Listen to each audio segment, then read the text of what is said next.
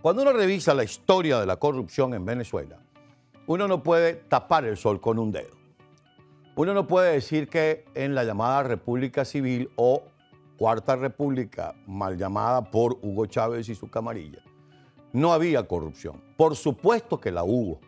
Tan la hubo que esa fue la conseja, ese fue el discurso, esa fue ese fue el pretexto para el alzamiento del 4 de febrero, del 27 de noviembre de 1992 y fue el principal argumento de la campaña electoral de 1998. Además de ofrecerle al país acabar con la corrupción que en aquellos momentos, se generó, que si Recadi, que si, el, que si el caso tal o el caso cual. La promesa de acabar con la corrupción no solo no se cumplió, sino que se profundizó. Pero cuando llegamos a la corrupción revolucionaria del siglo XXI, nos encontramos que no solo es la corrupción administrativa, que era la que se había descubierto en la llamada Cuarta República y que por cierto se investigaba y se castigaba, aunque algunos dicen que no, y aunque algunos se pegaron de esa historia para llegar al poder.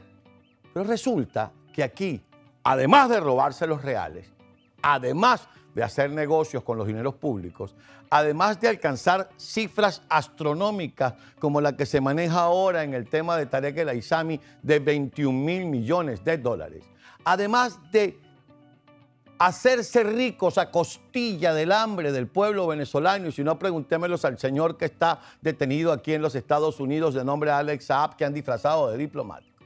Además de todo eso, estos no son ningunos niños de pecho. A eso se le suman acusaciones de narcotráfico, acusaciones de trata de personas, especialmente de mujeres, acusaciones de proxenetismo, de las llamadas prostitutas premium para la Venezuela premium, como leí en un portal durante la madrugada de hoy.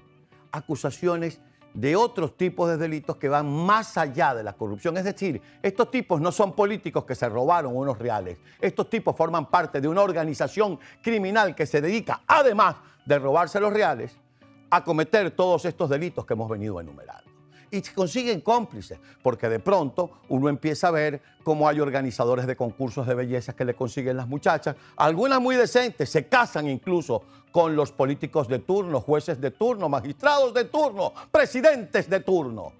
Otros no tan decentes que las utilizan como prostitutas premium para una Venezuela premium, como les dije hace unos segundos.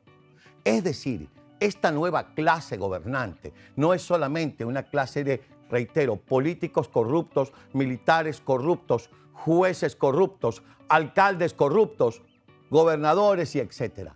No, forman parte de esta organización criminal transnacional que incluso hacen alianza con las bandas organizadas, pero el día que esas bandas organizadas se les salen del control o se van a uno de los estamentos de poder en los que está dividido el partido del gobierno en Venezuela, entonces ahí sí son bandas armadas, ahí sí son delincuentes y ahí sí son abatidos Verbigracia el Conejo.